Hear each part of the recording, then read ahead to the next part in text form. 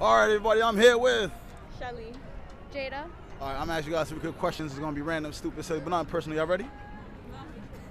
All right, boom, she's ready.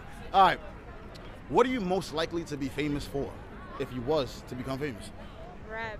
Rap. Oh, spit some balls. Let me hear. it. Oh, Quick, quick. hell no, not right now. Oh, okay, okay.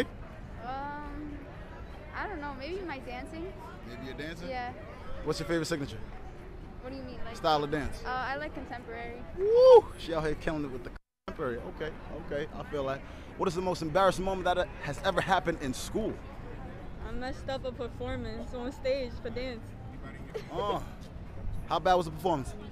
It wasn't that bad, but it was like I was right in front. Mm. Uh, I think like in third grade, I got so sick and like threw up everywhere in front of like everyone. It was really embarrassing. Shit happens. All right, all right. My next question to you guys is: Have you ever sent a text to the wrong person? Yeah. What was that text? Probably like my mom, I think. I ain't gonna say too much. Oh, she sent her mom the wrong text.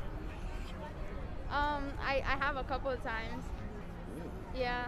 Uh, one of them was to my sister. Oh, It was about like this kid, and then Oh. I said some stuff, but I meant to send it to my friend. Oh, yeah. oh, not sis.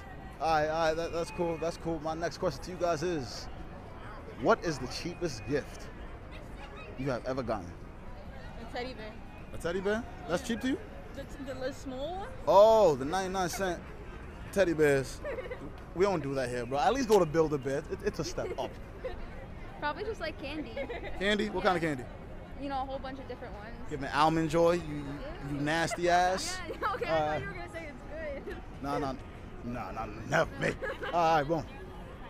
My next question to you guys is: If you guys was to smoke with one historical figure, who would it be? Can it be dead or alive? Dead or alive? You Okay, smoking ganja? One historical. Pop Pop smoke. Smoke. Facts. She want to smoke with Pop for the woo one time. I'm gonna say Snoop Dogg. She want to smoke with Snoop. Okay, that's all we got with these ladies. We are out of here from Times Square. Huh? Thank you.